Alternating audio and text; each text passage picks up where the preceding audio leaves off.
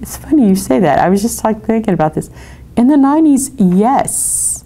And it was, oh, miss, don't you want to touch my stomach? No.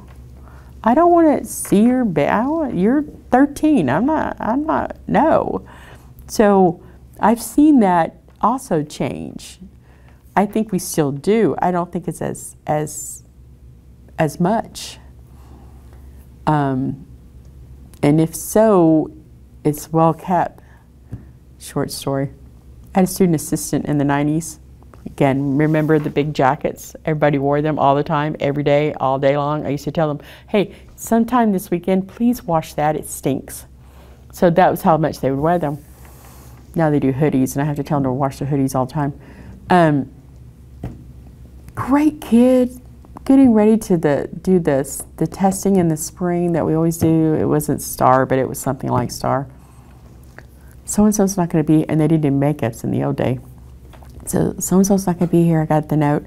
I'm like, oh. And she was gone for like a week, two weeks. I'm like, what's wrong? I, finally, the counselor comes in and talks to the whole group of teachers. Yeah, she had a baby.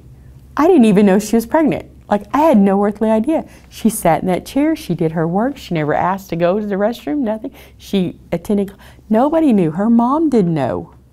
She had that baby in her bathroom at her house. I'm like, when she came, I'm like, oh, now I see the, you know, she had, of course, lost the, the weight. And I'm like, oh my God, how did I not see? I saw you every day. I talked to you every day. How did I not see that you were pregnant? And needed help. So that was very common back in the 90s. As we've gotten to the 2000s, not as much. We may have one or two, but even then it's not talked about. I, it's, I can't remember the last time I've seen a pregnant girl here at school. It's been a long time.